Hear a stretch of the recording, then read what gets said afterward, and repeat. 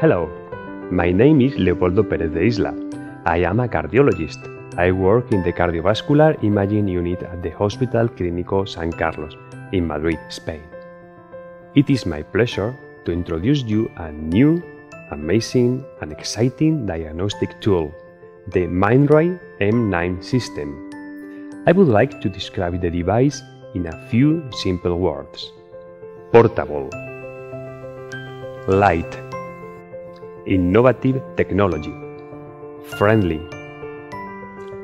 accurate, complete, connectable, reliable.